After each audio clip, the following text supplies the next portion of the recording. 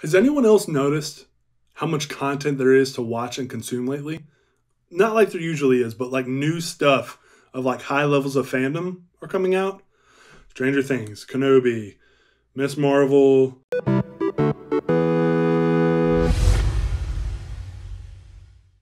Stranger Things Season 4, Volume 1. Well, I'm not even to bother catching you up. Assuming at this point you're a fan of the show, you know what's going on. You've been waiting as long as everyone else due to being such a longer season, the pandemic, many of the things delaying it. It's finally here. And I want to go ahead and get something out of the way. It was a mistake to not release the season all at once. They should have just waited until July, which is when Stranger Things historically has come out, and released the the entire thing. You have this huge build up throughout the whole season with a binge model, and then this earth-shattering twist comes and it ends. And you have to wait 5 weeks. what I will say for this non-spoiler section is that the season is impressively put together. The scope, the ambition is kind of a marvel uh, to behold and it really pays off in those last few episodes. I do think the runtimes are a bit bloated. There are moments where it feels justified, where it can you can really explore the headspace of certain characters, and then there's just other times where there's plot elements that overstay their welcome to really go nowhere. All right, from here on out, there will be spoilers for Stranger Things Season 4, Volume 1 the big exposition dump in the final episode, which unfortunately some things online, parts of it got spoiled for me. I knew that that guy was number one. I also knew that he was Vecna. I did not know that he was the Creel boy uh, from the past. That was a great twist. There's a very, very long section where he explains everything that happens. And while it works in the moment, it does feel a little long. And there are other moments that feel kind of shortchanged. And please correct me if I'm wrong on this. But I don't think Mike and that whole storyline appear at all in the final episode of this volume. And Hopper's story feels so drug out throughout the season. There's so much little story there, and it's so good, they sparse it out. But it almost feels like he should have had his own episode to catch us up and not have these little tidbits of like four or five minutes spread out so thinly. And that's where the structure of the season, I just think, really, really struggles. I've already talked about how they build up to this big climax and then it's just over for five weeks. It's not the week to week model, it's the binge model. And if you're going to do the binge model, commit to it. If they didn't have time to finish the other episodes, then just release it all at once. It was five weeks we could have waited. But here we are, and it's just it loses some of its momentum because of that. But I also feel in the first three episodes, which I've seen some complain are too slow, doesn't bother me at all. Sets everything up, lots of great character development, gets us back in the world. Eleven's story she is bullied and humiliated for so long over such a course of time for it to ultimately just get her to a place where the government comes and gets her to set up the whole like training story. It's just what was the point of all that beforehand? I didn't think it needed to be as long or be, needed to be such a big focus, and that's where I feel like the show could have cut some of that stuff out to have shorter run times or really just release 45 to 50 minute episodes and give us a 16 episode season. We don't have to have two and a half hour episodes, which reportedly is what the season finale is going to be. I get that maybe you won't be able to see every single person in each episode, which they already did with episode 7, but it allows the episodes to be more focused and easily consumable, not with so much happening in, in one episode. I say that, but I was fully invested. I loved every second of it. I've enjoyed the little buddy cop parts with Joyce and the other guy's name. Suddenly knows karate, which I thought was hilarious. I will also say, too, content warning this season is much darker. Much darker. Maybe I'm misremembering past seasons, but the violence in this season, particularly, is pretty horrific. And there's going to be some scenes that may be hard to watch for some people.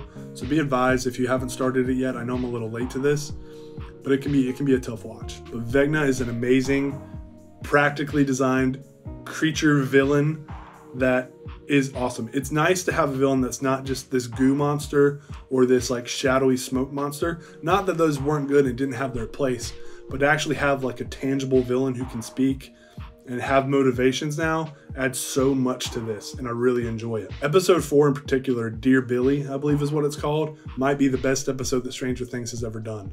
The ending, I was on the edge of my seat, literally not knowing what was going to happen, and I was enthralled with every moment of it. Characters' arcs are well written, and everyone seems to be very dynamic complete characters at this point. Maybe not complete, as their journeys aren't at an end yet. They're very nuanced, every single one of them. I even really particularly love Eddie, uh, the new guy. Even though he's the oldest looking 30 year old high schooler, 18 year old I've ever seen in my life, they really take the concept of the D&D, Dungeons and Dragons mania of the 80s where uh, a lot of parents were very concerned with some of the incidents that happened with people that got too obsessed with it. They really take that mania and heighten it to become part of the story, but they flip it on its head as well with these guys just being normal people. They're just people and they enjoy it. And it's actually the ones who become crazy and near cult like are the ones raging against it. Chrissy's boyfriend, I can't even remember his name right now. His whole storyline is he is definitely unhinged he is a manipulator. Anytime he gets behind a microphone, he loves to make an impassioned speech to sway people to his view. But I also kind of got frustrated that he kind of gets away with so much with no consequences. Mouthing off to the cops, starting an angry mob, beating up Eddie's friends, assaulting them with no consequences. And maybe I'll be convinced by the end of the season, but that's another thing where that's where we're left and there's two episodes left that are going to be super duper long. I also am not sure how I feel about them rekindling Steve and Nance's relationship. I like the concept of it because I like Steve as a character a lot, and I really like Nance too. But Steve has grown so much, and they're kind of naturally coming back together. But it feels it feels a little icky given Jonathan's reasoning for whatever them not being great or whatnot out of love for Nance and them not even having come in contact yet, it, it feels like she's starting to kind of emotionally cheat on him. And I'm just not sure how I feel about that. We'll see how they handle it. If the goal is eventually get them back together, they need to reconcile Nance and Jonathan amicably first before they get there. I don't want them to bite off more than they can chew. The moment where they all get to hang out in the upside down I thought was brilliant. But I wish they could have done a little bit more with it. They get attacked by those creatures at first, which really heightens the stakes. But then after that, they just kind of wander around with no consequences. And I was under the impression that the upside down is a little bit more dangerous than that. That's a nitpick, as I still really enjoyed the moment. I also realized several times during the season that I should have rewatched it all before the season came out, as there was a lot of things I just didn't remember. So you may want to do that.